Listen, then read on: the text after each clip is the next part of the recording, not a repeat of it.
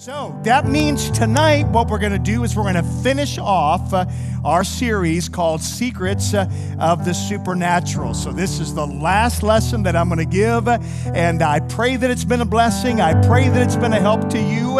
And uh, so, it, yeah, amen. God's good.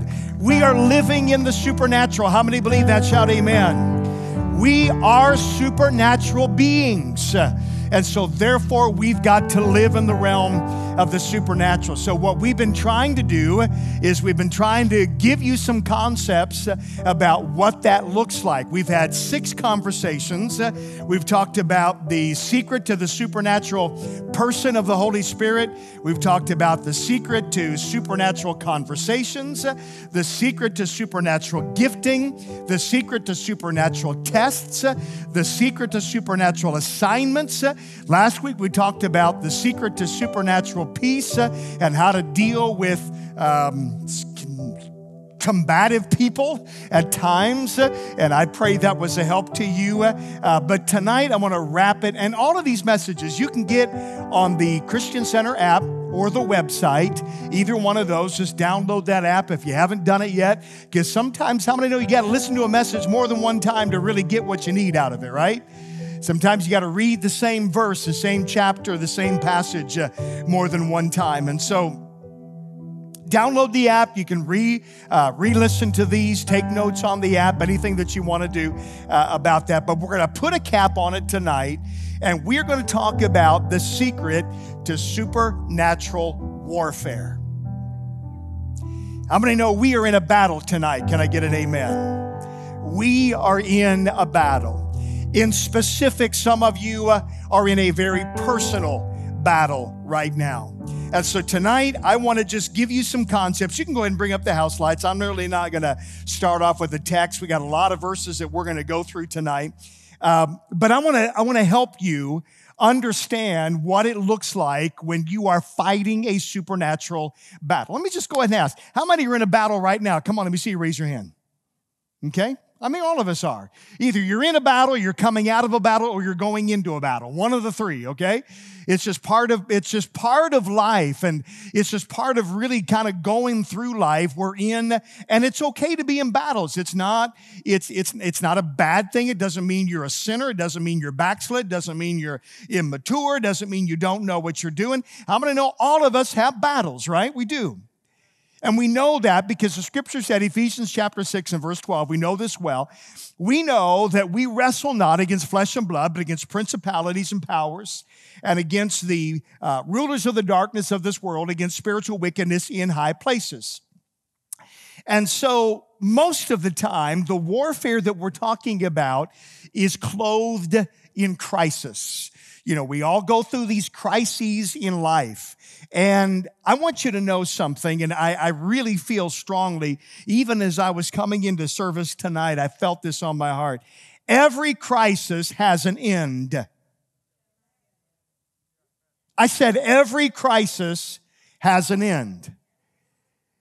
Amen. And I feel like somebody's crisis uh, is about to come to an end. Amen. I felt that so strongly in my spirit as I was walking into the sanctuary tonight that your crisis uh, is about to come to an end. Amen. And I know that it seems as though it is a never ending thing, but it, we've got to understand that it's in the crisis uh, that we find a classroom a classroom in which God is teaching us. He's teaching us about Himself. He's teaching us about ourselves. He's teaching us uh, about the world around us. It's a classroom. Now, I don't know how you did in school, but maybe you didn't get good grades, but I'm telling you, when God puts you in the classroom, how many know you want to pass the test? Amen? Because if you don't pass the test, guess what God's going to do? He's going to give you the same one again.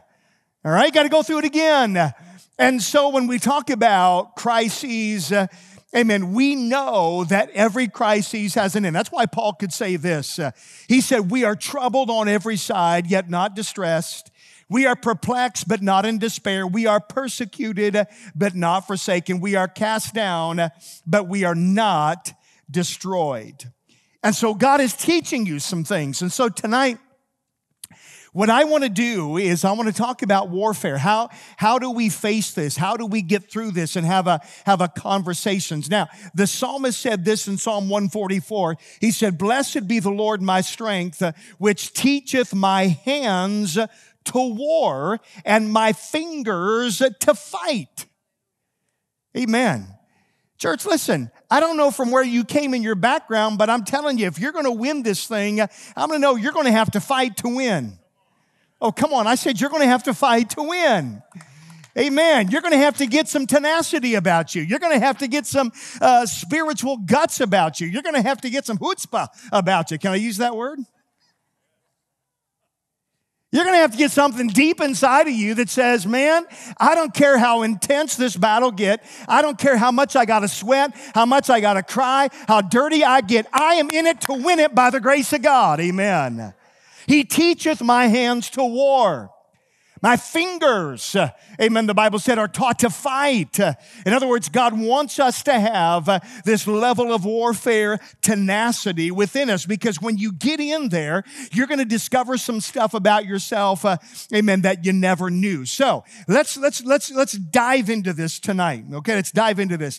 The first thing that I want to share with you is this. When we talk about warfare, and this is this is not going to be earth-shattering stuff. It's not going to be, you know, deep, but I'm just going to give you some some truths that I feel like I'm supposed to. Number 1, you've got to choose to win.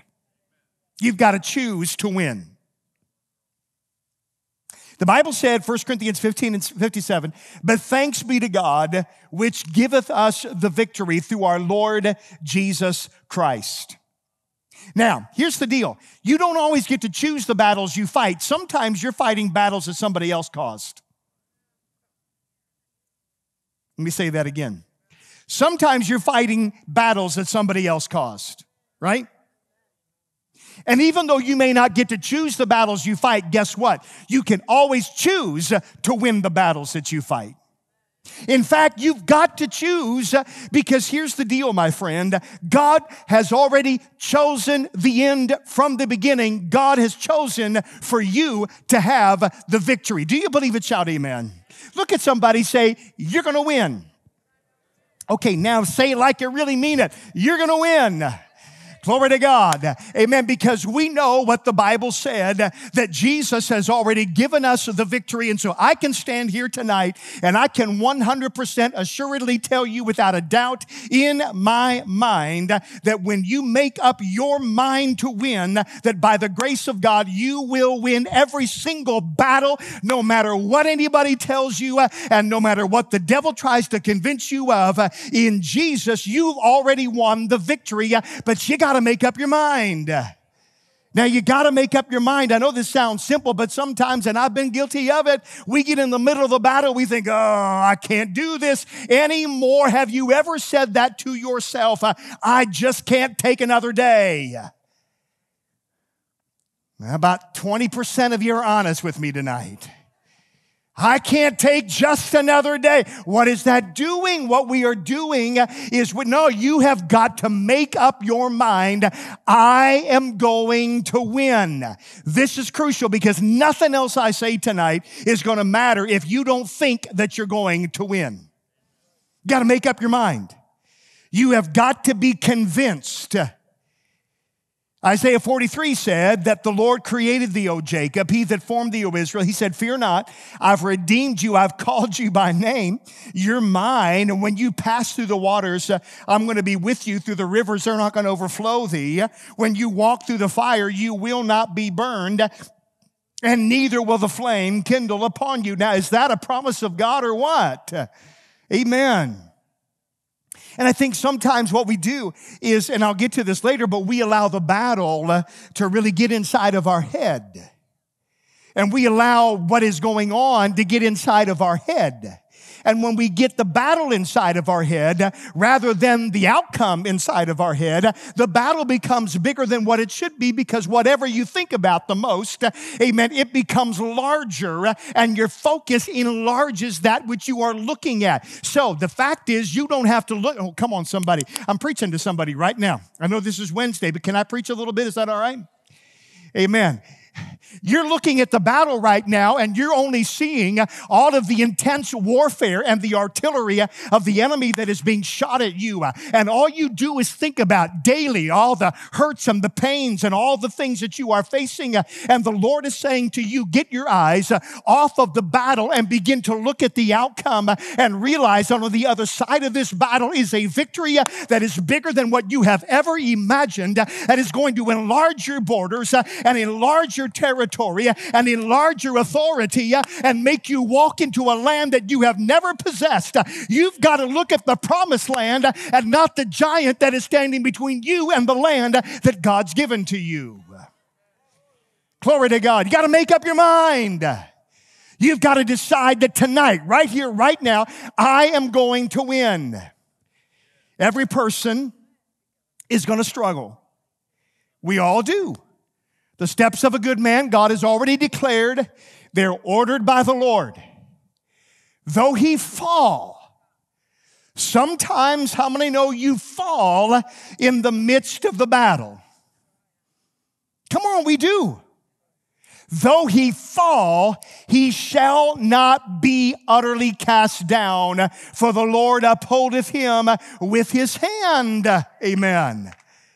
And so, therefore, when you make up your mind, even though you fall or even though you falter and become weak, you've got the strong arm of Jehovah that is reaching down to you and is going to pick you up and put you right back on the path. Listen, 100% of you tonight are going to win in the name of Jesus.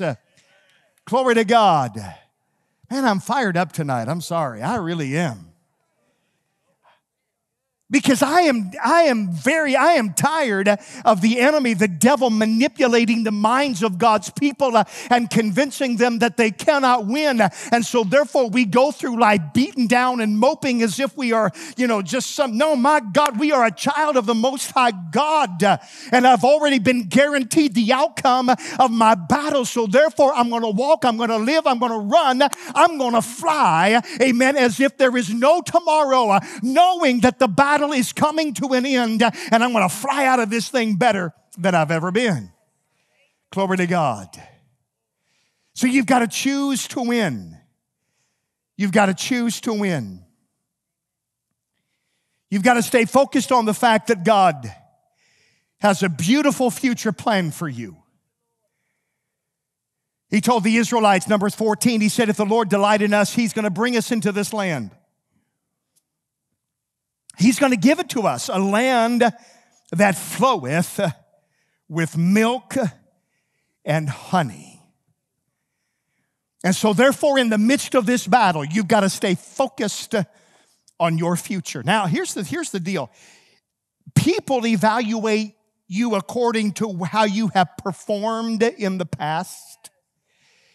God evaluates you based on what He has planned for your future. Amen. And so if God is planning my future, then I need to be focused on that plan and not where I am at the current moment. So you got to choose to win. Now, let me move on. Number two. Battles are the enemy's resistance to your miracle. You see, the last thing the devil wants you to do is experience a miracle. Because the moment you walk into the miraculous, that's the moment that you're going to discover your destiny and you're going to be released to really do that which you are created to do. And so the enemy is going to do everything he can to resist the miracle that God has planned for you. Now, let me ask you tonight how many believe we serve a God of miracles? Can I get a raucous amen? amen. A God of miracles. And the enemy hates that. He hates it. He hates the miraculous. And so he's going, these battles that you are fighting right now is only a resistance of the enemy to your miracle. Now, how, how will the enemy do that? Well, sometimes uh, he'll use people to resist our miracle. I mean, the greatest miracle that ever took place was Jesus going to the cross. Amen. The redemption of the sins of mankind. That is a miracle. But guess what? Peter, when Jesus began to talk about going to Jerusalem, Peter said, No, not so, Lord, and tried to persuade. He, he even rebuked Jesus. He rebuked him and said, No, don't go. And Jesus had to look at him, and you know what he said? He said, Get thee behind me, Satan, because Satan was using Peter to stand in the way of the miracle of Jesus going to the cross. Let me tell you something, church, right now. You better open up your eyes because uh, there's some demonic influences around you that are being used to resist the miracle that God's trying to do in your life. Some of them have a sweet face on, have a sweet little voice, praying for you. Yeah, who you praying to? That's what I want to know. Praying for you. Call me. No, don't call her. Don't call him. He may say that he's got your best interest in mind, but he is a resistance to the miracle that God wants. You better open your eyes. Man, I feel that so strongly tonight. You better open. The enemy will use people to resist your miracle. He will use pain to resist your miracle. You know, Paul, I got so much to talk about tonight. I'm going to try to really hurry. But Paul had this thorn in the flesh, the Bible said. 2 Corinthians 12 had this thorn. It was, it was a physical, it was a physical pain. And, and, and I can't really dive into this deep tonight, but that, that physical pain did not come from God. God does not give you sickness. Oh, the Lord just made me sick to make me humble. That's a lie. He is the God who heals. Come on, somebody. And so, this pain, the Bible said, is a messenger of Satan to buffet me. Why did Satan bring this physical pain into, into the life of Paul, this thorn in the flesh?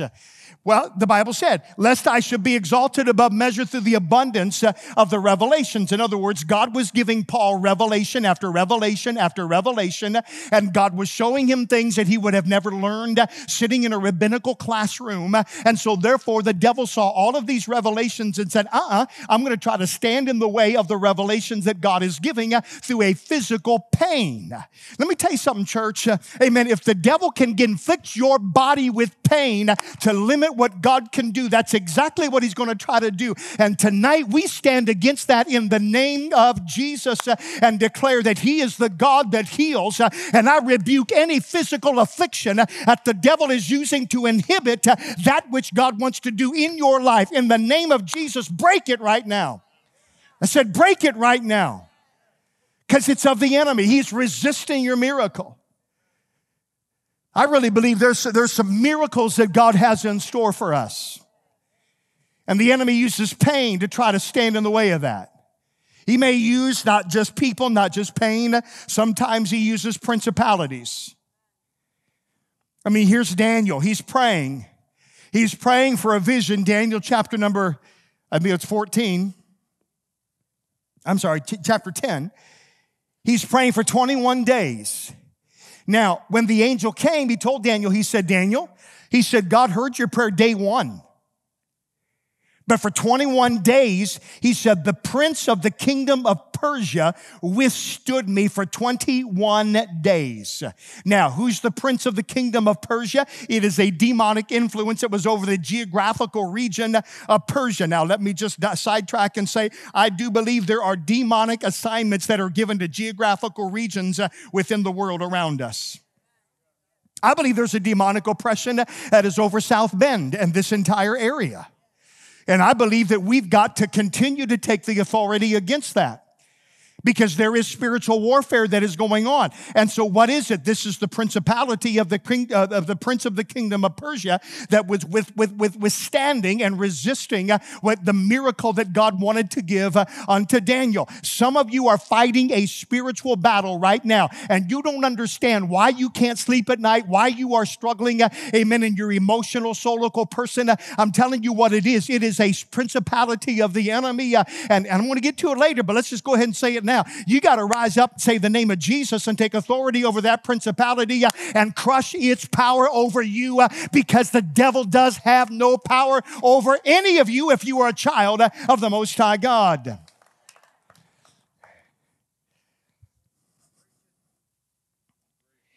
I want to be careful here, but I'm going to tell you something. The devil is causing so much stress and anxiety within the hearts and the minds of God's people. And I know the world that, you know, they want to, they want to diagnose and all. Sometimes we got to call it for what it is. There's a demonic spirit that is trying to trouble the hearts and minds of the people of God. And we got to step up and say, uh-uh, no more. In Jesus' name, I am not going to give in to that principality. Because he's resisting the miracle. So the battle you are fighting right now is resistance to the miracle that God wants to bring into your life. He's getting ready. In fact, I know that that there is a miracle that is about to give birth into your life. I mean, you look at Jesus, he, the greatest, really the greatest miracle, obviously, when he was born, look what happened. Immediately, Herod got up in, in Matthew chapter 2 and slew all the children that were in Bethlehem and all the coast thereof. Why did he do that? Because he wanted to kill the miracle. He wanted to kill the miracle. That's exactly what the enemy's trying to do in your he's trying to kill the miracle. But we're not going to let it happen by the name of Jesus. We're going to win. Amen. Recognize the battle. It's a resistance. Now, number 3, you've got to understand your enemy as well. You've got to understand the nature of your enemy. Now, I am not one to stand up here and and, and, and give credit and glory to the devil. I hate him.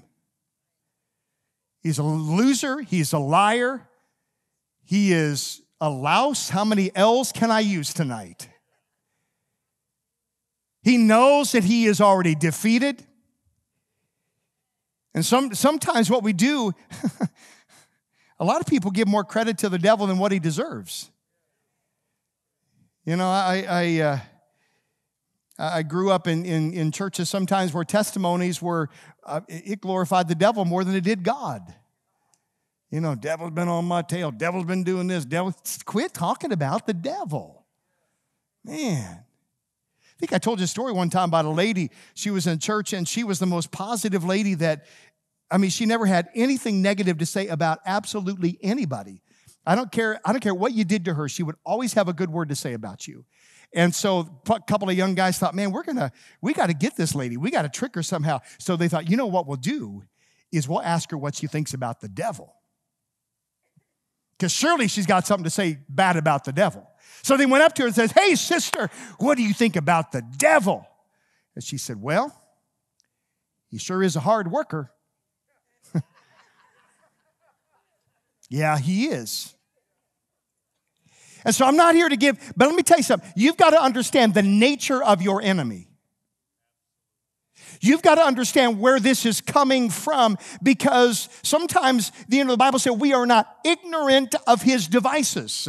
And if we are ignorant of what the enemy is doing, then we will not be uh, prepared to stand against that which the enemy brings uh, to us. Now, the Bible said we are to be sober. We are to be vigilant. Why? Because your adversary, the devil, as a roaring lion, walketh about seeking uh, whom he may devour. He is a supernatural being of an angel that was once the prince of angels in heaven. The devil is an angel. You've got to understand that. I think we all know that. His name was Lucifer. He was the chief worship leader in heaven.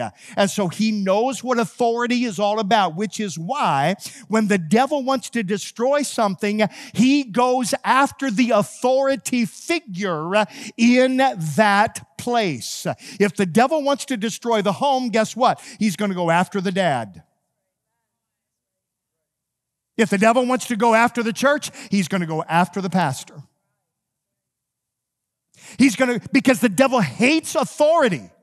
He hates authority. And that's what got him kicked out of heaven. He was kicked out of heaven because he hates authority. That's why rebellion, the Bible said, is as the sin of witchcraft. Man, I could, I, I could go off on that as to why that is. We've got to understand the rebellious spirit. Mm, that is in this nation right now. And all you've got to do is get on social media, and all you've got to do is, you know, see these kids that are in public schools uh, and the rebellious spirit. I'm talking five and six year olds that are filled with such a spirit uh, of rebellion. Amen. They're not getting that from television, they're getting that from the spirit uh, that is behind the programming uh, that is instilling in the hearts and the minds of our children uh, that they don't have to listen to authority. That is of the devil. Man, I know this is not popular preaching, but I'm telling you, it is the truth. There is such a spirit of rebellion that is in this nation right now. I got to just be me. I got to let my voice be heard. I got to do this. I got No, you don't. Sometimes you got to sit down, shut up, and listen to what you're being told because the spirit of rebellion is gripping the United States of America. And you that are working in the public schools, you know exactly what I'm talking about. You that are working in the schools, teaching in the schools, driving bus for the schools, uh, you deal with it every day. You are up against a warfare, and I salute you as a man and woman of God that is anointed. You keep carrying the light in the public school uh, because there's a spirit of rebellion that needs to be broken by the Holy Ghost uh, that lives inside of you. Amen. Now, so he hates rebellion. I mean, he hates authority. That's why he's rebellious. Isaiah 14, how are you fallen from heaven, O Lucifer, son of the morning? How are you cut down to the ground? You said in your heart, I'm going to ascend into heaven. I'm going to exalt my throne above the stars of God. I'm going to sit upon the mount of the congregation in the sides of the north. That's, that's why he's cast out of heaven. Jesus said in Luke 10, I beheld Satan as lightning fall from heaven. So the, the, the devil hates authority. He's going to go after your authority figure, but also the devil is desperate. And I, I mean this. I, I, really believe there is an uptick in satanic attack and assault uh, on the people of God. Anybody besides me? Have you seen? Have you seen it? That's because the devil's desperate. He's desperate. He knows the Bible said, and it's not going to be on the screen, Revelation 12. He said, Woe to the inhabitants of the earth. He said, The devil's come down to you having great wrath because he knows he's got but a short time. Devil knows his time is running out. And so I believe he has ratcheted up and intensified the attacks uh, upon the church, upon the home, upon your heart, upon uh, marriages, anxiety, stress. He know he's trying to destroy as many lives as possible while he has the opportunity. He knows his final destruction. He knows his, his demise.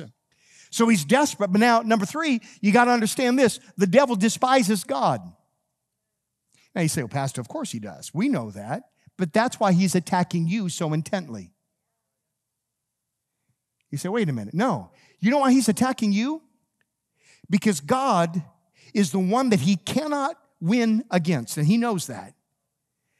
But if he can attack the crowning creation of God, his child, and try to destroy you, it is as if he's got one up on God. In his mind, he's attacking you because he hates God.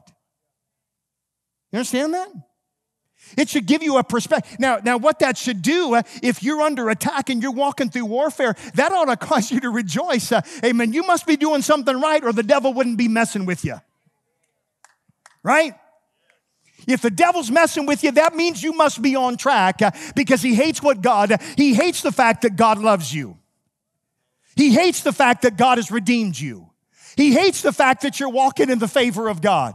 He hates the fact that you're blessed. And so anytime you begin to step in the favor and the blessing of God, you better believe that the archer of the enemy is going to pull back uh, his bow and he's going to shoot uh, and try to hit you square in the heart. But I'm telling you tonight, do not back away from the favor of God uh, because anytime the enemy ratchets up the, the attack, I believe the grace of God, amen, is endowed upon you with an, um, unlimited favor that's going to give you the power to withstand the the attack of the enemy. The devil hates God, and that's why he hates you. Man, I'm sorry if this is too negative tonight, but I'm just being real with you. You've got to understand this battle that you're fighting is not an accident. And really, that's what I feel like I got. It's not an accident. It's not just, well, well, this just happened. No, this is spiritual. This is supernatural warfare. And this is why, because you are walking under the favor of God. Now, the, the, the, the attack of the enemy, it's his way of attacking God. And that's why James said, My brethren, count it all joy. joy when you fall into divers temptations. Now, number four, you got to understand the, the, the, the, nature of the enemy. And, and there's so much more I could talk about with that. I just don't have the time to do it. Because I want to tell you, you got to understand, number four, the tactics of the enemy. You see, what he's going to try to do is deceive you. He's a deceiver, he's a liar. We know that. Jesus said, John chapter 8, He said, You are of your father the devil, the lust of your father you're going to do. He was a murderer from the beginning and abode not on the truth. Why? Because there's no truth in him. When he speaks a lie, he speaks of his own, for he is a liar and he is the father of it. The devil cannot tell the truth, uh, even if he wanted to. And so, therefore, what he's attempting to do is deceive you uh, and lie to you about who you are, about who God is, and about who those around you are. And he does that by casting doubt. He starts, I mean, the underlying goal is deception. He wants you, de- he wants you deceived, but he does that by casting doubt into your mind. He did that from the beginning. He came up to Eve in the Garden of Eden. What did he say? He said, uh, Hath God really said? Did God say that? What the enemy wants to do is cause you to doubt what God has said in His Word. Because if you doubt God's Word, you have no faith because your faith is grounded in the Word of God.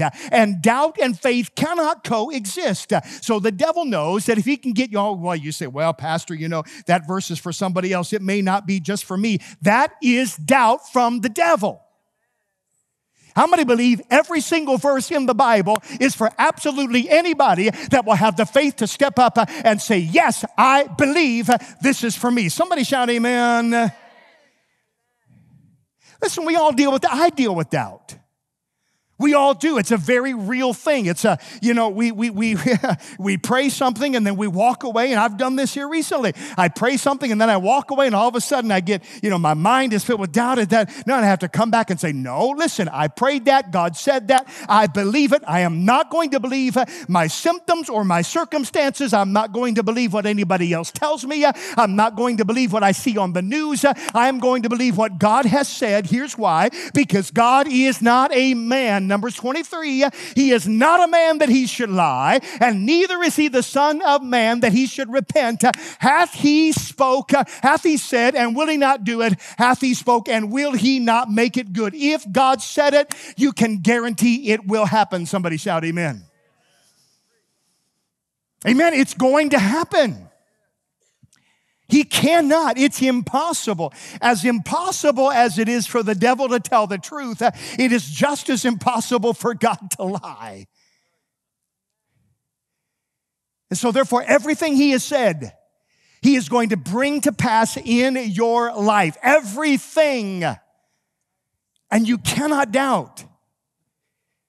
You cannot doubt. Because that is the tactic of the enemy. He will attempt for you to doubt, and he will distract you with those doubts. Now, how many know? And I, have, I have a short attention span. How many know it's very easy to get distracted? Look at your neighbor say, pay attention.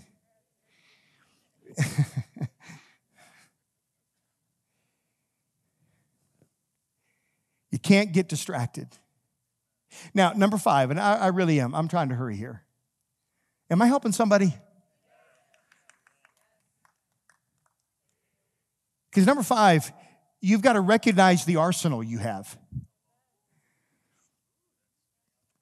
You've got to understand the arsenal that you have in, your, in, in supernatural warfare. And the number one, the number one weapon you have is the Word of God. The Word of God. That's it. Prayer, supplication, yes, comes, but you've got to have the word first and foremost. Because the word of God, Hebrews 4 said, is quick, powerful, sharper than any two edged sword, piercing even to the dividing asunder of soul and spirit, of the joints and marrow, and is a discerner of the thoughts and the intents uh, of the heart. Now, notice the word of God divides your soul and your spirit. What is your soul? Your soul is your emotions, uh, your spirit is your God consciousness. And so the reason that the Word of God is your number one weapon is because the Word of God causes you to get out of your feelings and into your faith. Because if you try to fight this battle by your feelings, guess what? One day you're going to be feeling on top of the world, and the next day you're going to be feeling as if you're in the molly grubs.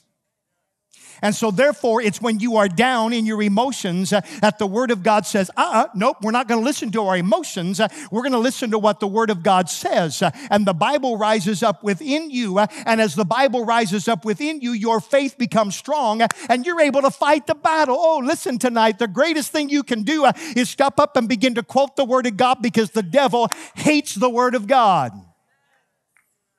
He hates it. That's why Jesus used it against him.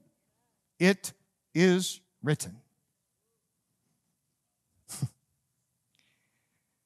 you got to know it, you've got to verbalize it, you've got to speak it, you've got to let it out. You've got to sometimes shout it if you need to. You've got to let your voice be heard. Because when your voice speaks the authority of the Word of God, you are letting the devil know that there is authority within you that does not come from you, but it comes from a word that was spoken by the creator of the universe. And the creator of the universe made everything that is and that ever will be by what he said. And when you speak the word of God, you are creating your world from this point based on what God has said to you and through you. Somebody shout, Amen. So when you are fighting the battle, you are fighting the battle of sickness. Uh, amen. What you do is you do not accept it, uh, but rather you say, No. Amen. By his stripes uh, ye were healed, is what Peter said. That is what the word of God says. You speak it. Amen. If you are fighting the battle of financial insecurity, you simply say, My God, Philippians 4 will supply all of my God, my God, my God. He's my God tonight. Amen Amen. He is a personal God tonight uh, that is concerned about every single intricate detail of your life. Uh, he loves you more than what you could ever imagine. Somebody shout, Amen. Man, I needed to say that. My God. Why did Paul say that? I think it's so you know He's your God tonight. He's not a God, He is my God. Hallelujah. He is a personal God that will supply all of your need. You're fighting discouragement. You get up and say what Paul said to the Romans. He said, No, no, I love this. No, no, no. In all things, we are more than conquerors through Christ who loved us. You're fighting the battle of insecurity. What do you do? you simply stand up and say what God said in Deuteronomy chapter number 28 uh, that the Lord is going to make you the head and not the tail. You're going to be above and not beneath. Uh, amen. Let me just say this right now. There, the insecurity is one of the biggest tricks and, and, and tools of the enemy to make you feel like you are less than somebody else. Let me tell you right now, let's get that lie and let's send it back to hell from whence it came. You are not less than anybody else. I don't care where you came from. I don't care what you look like. I don't care what your grade was. I don't care what you did in sixth grade. It doesn't matter. Amen. You are the head and not the tail. You are above and not beneath. And start acting like you're a child of God and stop comparing yourself to Sissy Sue over here because she may be prettier than you, but who cares? You got a spirit inside of you that's a spirit of a warrior that's going to step up and say, Hey, I am no longer going to live like I'm the tail. I'm at the head of the class and I'm there there because of the grace uh, and the favor of Almighty God. You hear what I'm saying? I'm talking about getting serious about the warfare you're in. Start using the tool of the Word of God. Speak it and believe it. You got to change your mindset. to that of an overcomer. If you think you're defeated, you will be defeated. If you think you're going to lose, you will lose. You just will. You've got to begin to think like an overcomer. And you've got to begin to take authority in the name of Jesus over the devil. And realize, I don't care where you are. Man, you may be standing in the middle of Walmart and the devil starts attacking your mind. Go ahead and say it out loud. I rebuke you, devil, in the name of Jesus. Guy behind me, you might get scared and run away, but you've, he may need, maybe that's why you're rebuking him. Who knows? He may. The name of the Lord is a strong tower. The righteous, they run into it. They're safe. They're safe. God's highly exalted him and given him a name which is above every name, that at the name of Jesus, every knee should bow, things in heaven, things in earth, and things under the earth. So, this is what I want to close with, and I'm just going to make this statement. I'll get out of your way.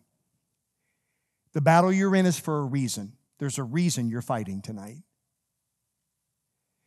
There's a reason because there's a miracle that God wants to do in your life, and the devil is trying his best to resist that miracle. But here's the other thing not only does your battle there for a reason, it's also there for a season. Just a season. This, this, this, this too will pass. This will pass. I know it seems like it's going to last forever, but no, it's going to pass. And you're going to win. You've got to make up your mind that you're going to win. And tonight, I pray that what I have said has in some way built faith within your heart to say, Oh God, I'm not going to lose, I'm going to win. Amen. How many believe you're winners tonight? Let me hear you shout, Amen. Come on, stand to your feet.